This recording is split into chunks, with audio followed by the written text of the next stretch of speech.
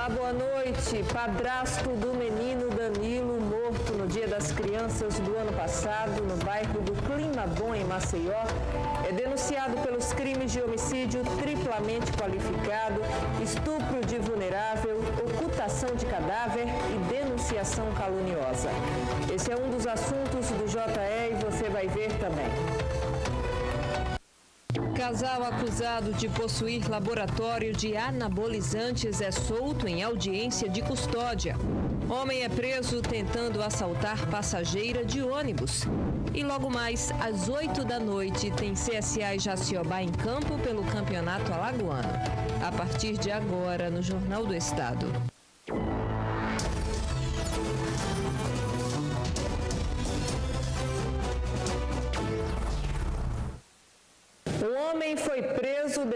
Tentar assaltar a passageira de um coletivo no bairro do Bebedouro. O ônibus fazia a linha Rio Novo Centro. Um homem que se passava por passageiro anunciou o assalto contra uma mulher que estava sentada ao lado dele. A vítima relata como foi a abordagem do suspeito. Disse, passa o celular, não fale nada porque eu atiro, que eu tô aqui com um revólver. Fez um cálculo assim, que só quer uma carteira. E eu percebi que depois que eu dei o celular, eu percebi que não era revólver, era uma, era uma carteira. Aí gritei, aí ele puxou aqui para descer. Aí eu puxou, gritei o cobrador, o cobrador fui roubado agora. Aí o, o cobrador foi Aí eu tomei o, eu tomei o celular dele, que estava já na bunda dele, nas costas, e ele não estava com revólver.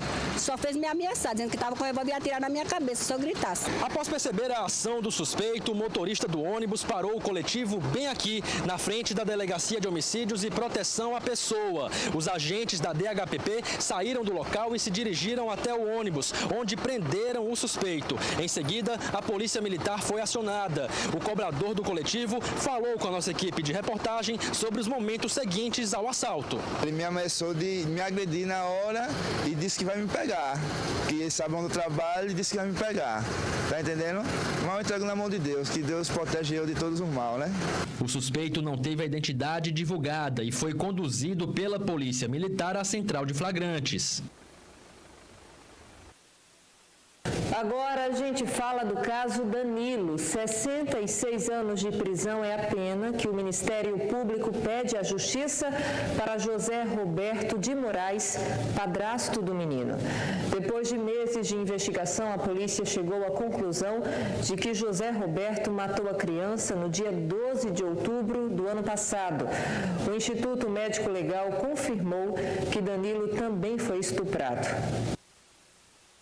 O Ministério Público de Alagoas concedeu entrevista para confirmar que o padrasto José Roberto de Moraes é o autor da morte do menino Danilo de Almeida, de 7 anos de idade. O promotor denunciou José Roberto por vários crimes. Homicídio qualificado, triplamente qualificado, estupro de vulnerável, ocultação de cadáver e denunciação caluniosa. Esses crimes, eh, as penas somadas, as penas máximas somadas, elas totalizam 66 anos de prisão. Nós esperamos, a pena máxima por esse bárbaro crime. De acordo com as investigações, o crime ocorreu neste estabelecimento, que antes funcionava uma oficina de bicicleta. Aqui, o padrasto teria utilizado uma barra de ferro e um objeto cortante para matá-lo. O IML também confirmou que Danilo de Almeida foi estuprado. Ele tem todos os traços de um, de um psicopata, né? Pelo histórico todo dele que ele tem de violência contra a mulher, né? José Roberto aproveitou que os moradores estavam dormindo na madrugada no Dia das Crianças para colocar o corpo do menino sem marcas de sangue neste beco. Quem mora no bairro está revoltado após a divulgação da polícia apontando o padrasto autor do crime. Desde a primeira vez que ele. Eu achei que foi ele. Com certeza. A senhora nunca teve dúvida? Não, não que ele tem a cara de bandido. Desde quando ele estava com a oficina ali. Não tinha dúvida que foi ele. Toda a vida eu disse, pessoal, foi ele, desde a primeira vez. Fazer isso com uma criança daquela foi um absurdo, rapaz. Tem que pagar Tem pelo que crime. pagar, tem sim, e bem pago. Tem que pagar mesmo. A polícia levou três meses para concluir o caso. No início das investigações, os pais do menino Danilo acusaram os delegados de tortura durante depoimento na delegacia. Mas a denúncia foi arquivada pelo MP, porque foi descoberto que o objetivo era atrapalhar as investigações. Ao final chegou-se à conclusão de que essas denúncias eram infundadas. E por conta disso, pelo fato de o acusado ter dado causa à instauração de uma investigação administrativa contra os delegados que conduziam as investigações, né, sabendo falsa aquela acusação, ele incidiu na prática do crime de denunciação caluniosa e por isso está sendo denunciado também por este crime. José Roberto já está preso e também responde por outros crimes de cárcere privado, Maria da Penha e estupro da enteada. Na época, a menina tinha 12 anos de idade. A Polícia Civil também repassou informações à imprensa nesta terça-feira. O padrasto do menino Danilo foi denunciado pelos crimes de homicídio triplamente qualificado, estupro de vulnerável, ocultação de cadáver e denunciação caluniosa. A polícia reuniu a imprensa na sede da Delegacia Geral em Jacarecica para explicar como ocorreu a investigação da morte de Danilo Almeida, de 7 anos. Segundo o grupo que investigou o caso, Danilo foi assassinado e estuprado. Foi vídeo de abuso sexual, inclusive pelas alterações anatômicas encontradas no exame necroscópico, né? E pelo material coletado e enviado ao laboratório do IC, onde foi constatada a presença de sêmen. A agressão sexual era evidente pelos exames é, necroscópicos realizados. A presença de sêmen, então, assim, houve violência sexual sim, e recente, porque havia sêmen é, na região anal da criança. Então, assim, tudo isso, junto com outros elementos da, da investigação, foi capaz de, de provar que a criança era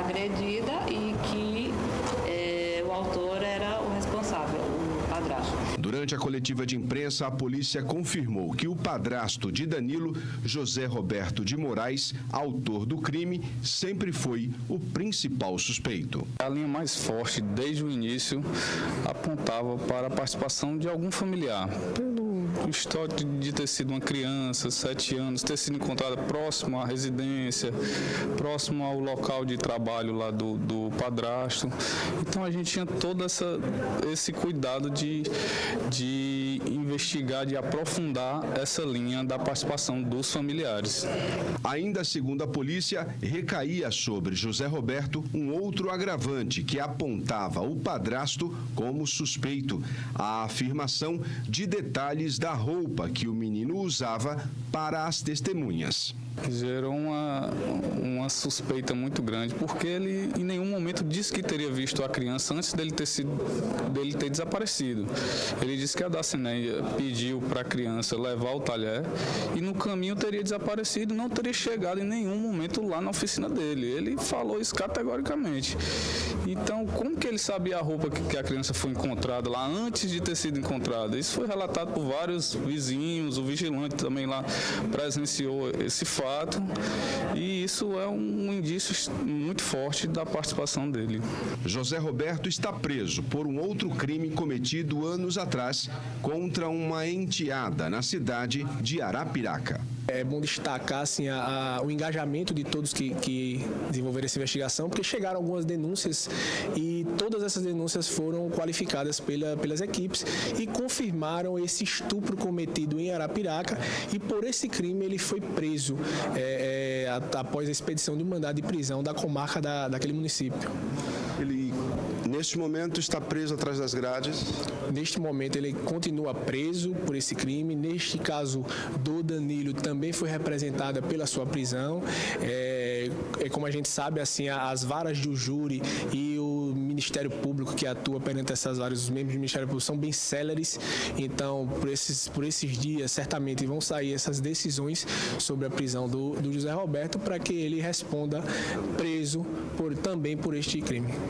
José Roberto responderá por homicídio triplamente qualificado, estupro de vulnerável, ocultação de cadáver e por calúnia, ao afirmar que a família teria sido torturada pelos investigadores.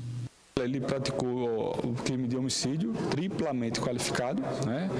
É, por motivo fútil, motivo cruel, por não é, permitir a defesa da vítima e também foi indiciado por, pelo crime de estupro de vulnerável, que por si só tem uma pena de 8 a 15 anos de reclusão. Também foi indiciado pela denunciação caluniosa por ter procurado é, órgãos outros pra, para formular uma denúncia e fazer com que uma, uma, um, um procedimento de apuração fosse instaurado contra as equipes policiais.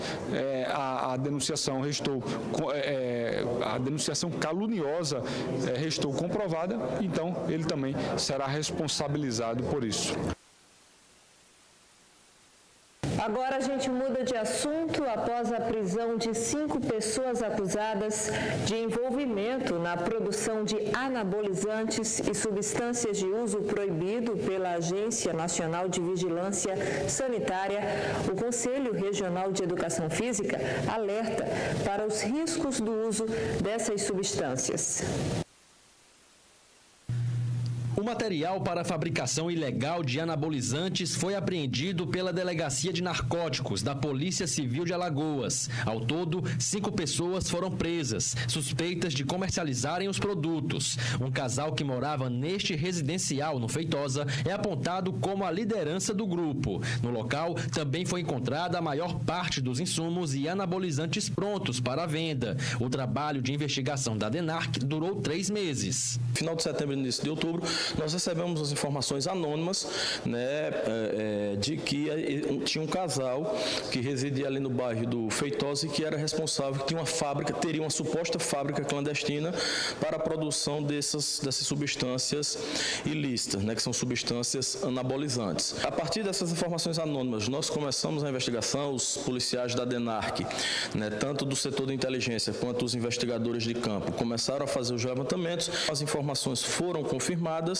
é, diante do que nós representamos perante a 17ª Vara Criminal da Capital pela expedição dos mandados de prisão e de busca e apreensão contra os cinco integrantes da organização criminosa.